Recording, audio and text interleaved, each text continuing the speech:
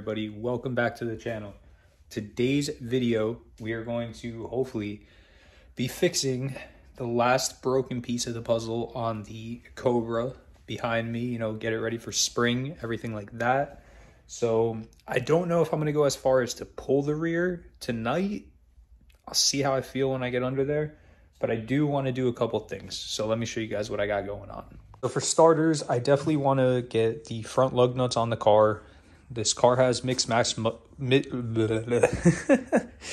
mismatched lug nuts on the whole entire car. Some of them are locking, some are 21, some are 19s. Um, we need to get proper lug nuts on the car.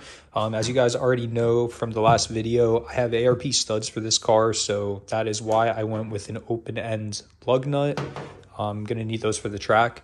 So I'm gonna get the front lug nuts swapped over. I'm just gonna do one at a time. This way I don't have to lift the front of the car. Just take one off, put one on, nice and simple. And then I also have the factory size speedometer gear right here. So I'm going to get that tossed in. And the reason for that is because we need to run a speed cal on this car because we are going with a much steeper gear than what is in the car right now. And then um, probably get it jacked up and everything, get the wheels off, and I'll take a look and see if I want to pull the rear or not. I might, I may not. We'll see.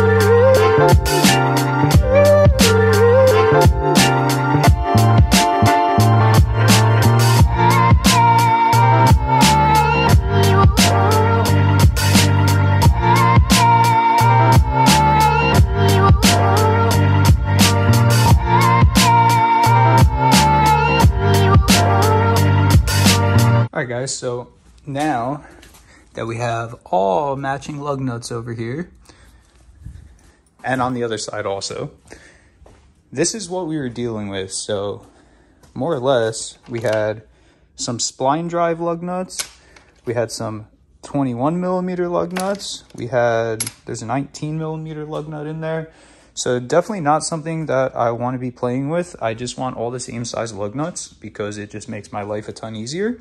So I'm about to pull the, um, I'm about to, for one, I'm about to jack this thing up, uh, pull the back wheels, and we'll get the gear changed in the transmission. If you guys have never done that before, it's not very difficult to do.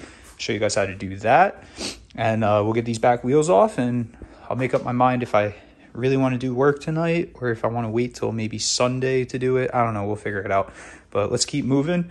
Uh, I do want this car done by the spring, which is probably about a month away, give or take. So I definitely need to get this car done.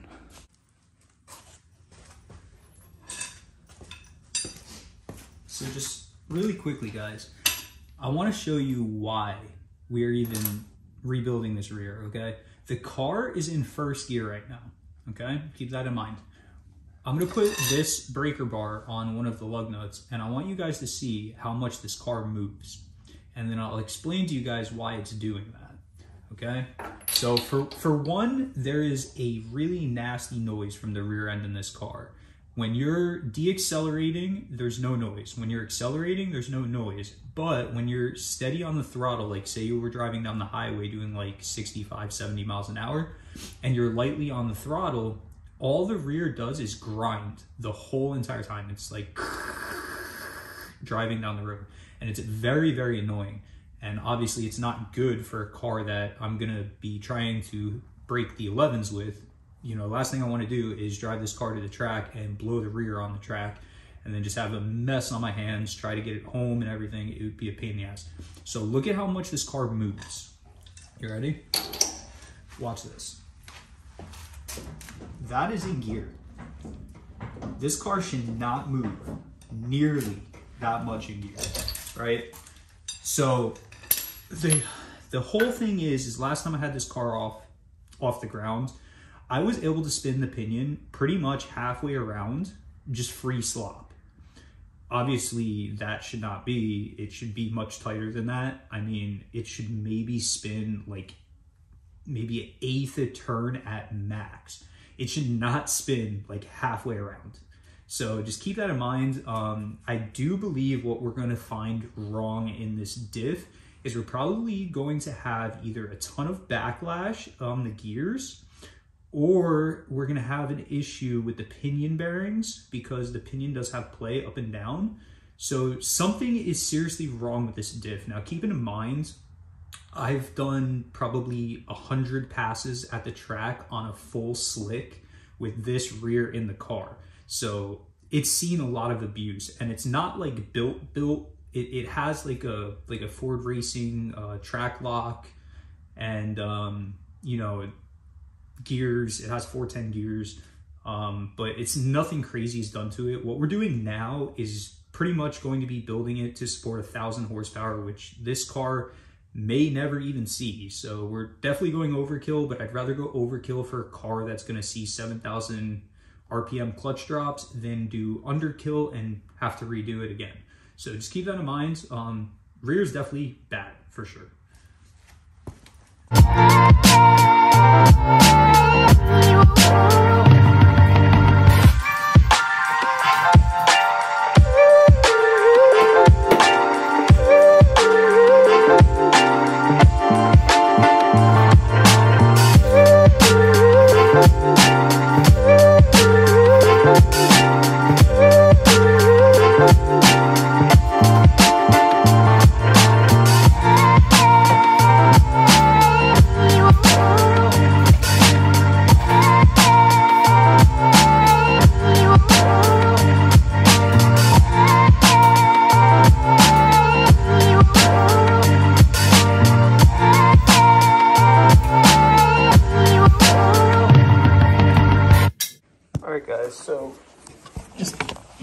Me. It's a little tight under here, but see I can put the light over here for you guys. All right. All right, right there. So what we're after for the Speedo gear is this guy right here. One bolt holds it right here. It's like a little fork. Uh, I'm pretty sure it's an 11 millimeter. It could be a 10. I'll let you guys know. But I'm going to pull this off really quickly. Um, you, you're obviously going to want to unplug it. No big deal there. Just like that. Just unplug it. Your speed cal will get wired into this, but we'll uh, that'll be another video for you guys. Um, so I'm going to get this one bolt out, and we're going to take this sensor out, and we're going to go get it swapped out for the proper stock factory gear. But yeah, all you Mustang guys, that's where your speedometer gets its signal from right there. Guys, so here is our speedo gear. As you can see, I just replaced this and they tell you do not go with the 23, 23 tooth gear in the Cobras. And there's obviously good reason for it. As you can see, most of the teeth are missing on this gear. Now, the reason for that is that it's just too high of a ratio and it chews up the teeth because the teeth are too thin. So my Speedo was honestly about to stop working yet again, thanks to uh, my gear here. So I guess it's a good thing I'm doing this. It is what it is. I was kind of hoping I could just get away with the 23 tooth gear, at least for the time being, while I was driving the car, but clearly not. So I'm gonna get the new one on here. Pretty much all we're gonna do is this clip right here pops off the gear slides off, the new gear slides on, you pop your clip back in. I'm gonna get it done. I'll show you guys what it looks like before I put it back. And yeah, that'll take care of your broken speedometer if you're having an issue with it, or if you're changing your gears in the back end and you need a different gear, that is the way you do it. And this is located on the driver's side of the transmission, right on the side towards the tail shaft uh, housing, right where the drive shaft slides in. It's right on the side. You'll see it. Can't miss it. Guys, just like that, we have our yellow, I believe it's 18 or 19 tooth gear. Um, but it's the color's yellow for it. This is your factory gear. This is what Ford put in your Cobra at least. I'm not too sure about the GTs, but the Cobra does have the yellow gear and it does have a different um, drive gear also that's located in the transmission. But when you buy one of these gears, it will usually come with a new clip. So just keep that in mind. I use the new clip. There's no reason to not use it. It's there for a reason. But yeah, so that's it. The clip just locks this on the shaft so it can't pull off, obviously. And we're going to slide this back into the trans. It might help you to put some transmission fluid on this O-ring just so it slides in nice and smooth and um, we'll get it bolted down. Uh, if I didn't mention it, this is an 11 millimeter bolt that holds it in. It's right here, just one bolt, one plug, and that's it. You're good to go. So I'm gonna toss this back in and we already have our wheels off here, our big meats. Those things are really, really wide. Um, I might pull the drive shaft and maybe the sway bar tonight. Maybe I'll pull the shocks off too. I don't know. We'll see how far we get but I don't really think I want to pull the whole rear out right this minute. Um, I really don't feel like doing it. So yeah, something to consider guys. I like to put the bolts where I got them from. So like I threaded both of the caliper bracket bolts there and both of the slide pin bolts there. That's just so I don't lose anything. Um, I, you know, I like to keep track of stuff like that just so you remember where stuff goes and uh, you won't have no issue. Obviously, you can't do that all the times, especially if you're replacing parts or not. You could get Ziploc baggies and you could label them, which I've done also, like when I was doing my Jeep, which is, I know you guys can't see it, but Southside. Um, I just got Ziploc baggies and labeled the bolts, but I'm pulling both brake uh, calipers and brackets and rotors off. I'm going to zip tie this caliper up out of the way um, on my particular Mustang, you will not need to disconnect the braking system because I have two separate soft lines that run up top there. Um, if you have like a Fox body or a 94, 95, you will have the brake line on the axle, so you will have to disconnect your calipers via the hoses. And, um, you know, obviously you have to bleed your brakes and everything. But I'm going to keep going. I'm going to go get the other side taken apart and everything and um, see what else we could pull off this thing really quickly. Guys, so honestly, I'm extremely beat from work this week, and I had a pretty rough end of the week last week. So I'm honestly just not in the mood to keep going, but there's really not that much stuff left to get the axle actually out of the, the Mustang here. Uh, I'm just going to go over with you guys. You know, obviously I put the lug nuts on. I did the speedo gear, so those are two things that are now done. Um, I got the brakes off of both sides, no rotors, no calipers, calipers down there.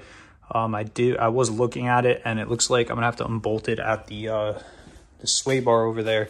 There's like a e-brake line that bolts to the sway bar. That's gonna have to get unbolted so I can swing the e-brake line out and around the axle because right now I would not be able to pull the axle out.